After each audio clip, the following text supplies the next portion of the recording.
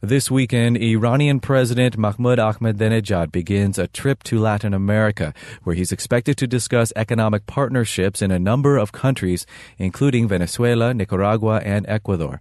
The trip comes as European Union leaders consider a ban on buying oil from the country and as U.S. and Israeli officials prepare for Austere Challenge 12, a massive military drill involving thousands of troops.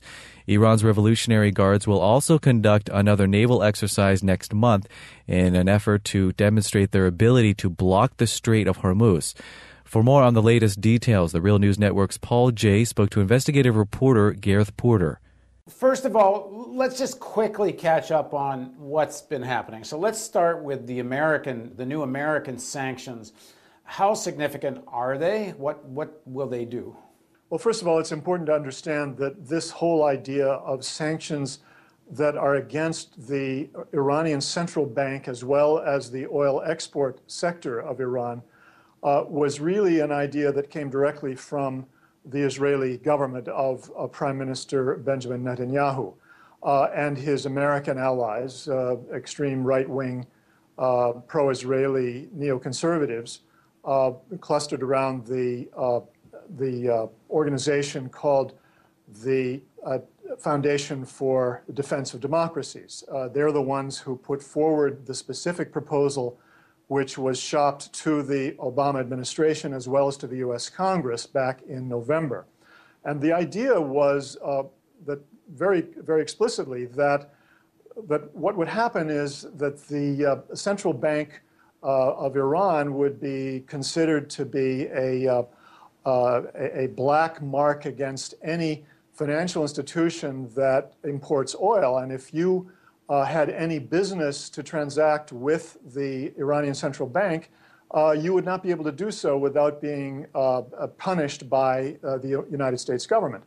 And that meant that all countries that import Iranian oil would not be able to use the Iranian central bank for uh, for their payments. And of course, the idea was indeed to cut off, insofar as it's possible, all imports of Iranian oil from as many countries as possible. So, how would that affect China, which is the number one purchaser of Iranian oil?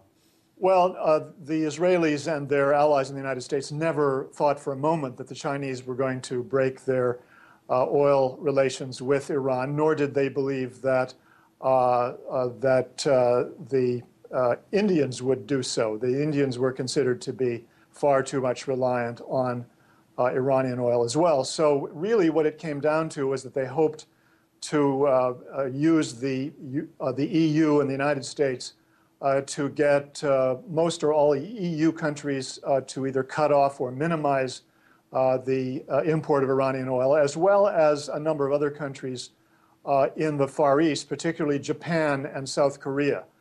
Um, and, and, there are a lot of questions surrounding this, not the least of which was whether it was possible to even have a major impact on Iranian export of oil without basically causing a great deal of uh, inflation of oil prices worldwide. So, in recent days, you, you, you wrote a piece which essentially said that President Obama is trying to distance himself somewhat from any potential Israeli strike against Iran. Uh, what, what's your take on this?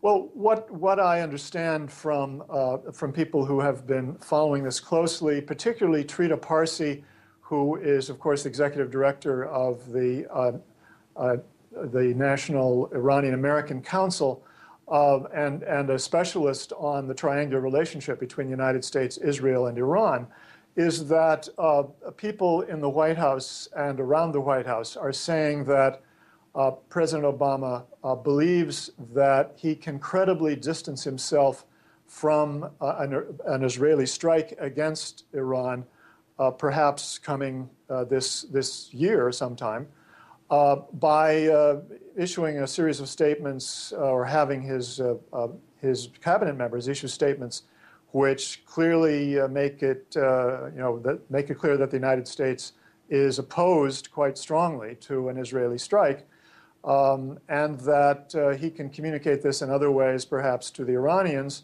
so that Iran will not hold the United States responsible for Israel. Now, how, how much do you think the tensions between these countries, of course, are real. But how much do you think this is about playing to domestic audiences in all three countries, meaning Israel, Iran, and the United States? Well, I would, I was in fact much more attracted to that approach that uh, there's much less than meets the eye to the threats of attack against Iran a few years ago than I am now. One of the reasons for that is that you have in Israel a situation where the former chief of Mossad, Meir Dagan, uh, has gone public uh, this past year in, in June, his first public appearance since he left his post as, as head of Mossad in, in 2010. He uh, revealed that he and two other uh, major figures in Israeli uh, uh, military intelligence circles, the, the, head of Shin Bet and the head of IDF, had in fact prevented Netanyahu from carrying out any adventure against Iran. And uh, it was also reported uh, in the Hebrew language uh, newspaper Maariv that there was, uh, in fact, a, a move by those three plus uh, former, uh, or I should say, President Shimon Peres and, and one other IDF commander, senior commander, which prevented a, a plan or vetoed a plan by Netanyahu to attack Iran in 2010. So, and, and clearly this is not just a uh, part of a charade because Meir Dagan has, has gone public also in saying that attacking Iran is the stupidest thing that he'd ever heard, and also saying that this could result in the end of the state of Israel. That was the Real News Network's Paul Jay speaking to investigative reporter Gareth Porter. To view the full interview, go to therealnews.com.